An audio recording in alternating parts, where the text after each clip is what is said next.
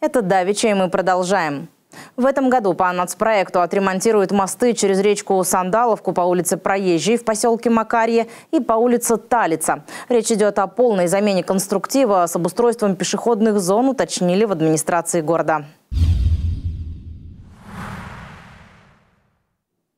Улицы в разных районах Кирова сегодня станут чище. В администрации опубликовали перечень участков, с которых в ближайшие сутки будут вывозить снег.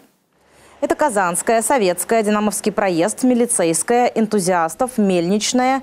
И это далеко не полный список участков. Ознакомиться с ним можно на сайте администрации города.